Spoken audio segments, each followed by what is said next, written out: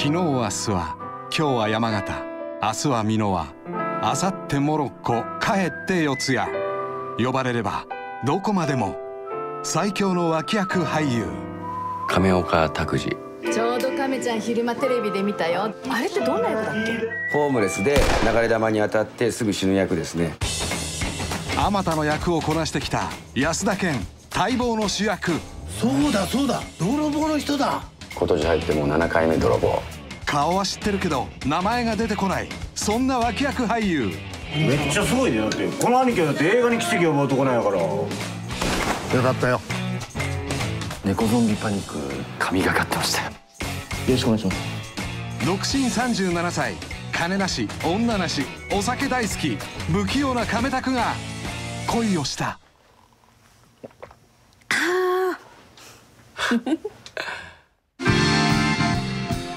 出戻りなの私。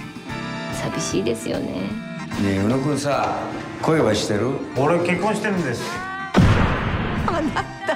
素人なの？伝えよう。愛の言葉を。スペースですか？セニョル亀岡今日は安住さんに。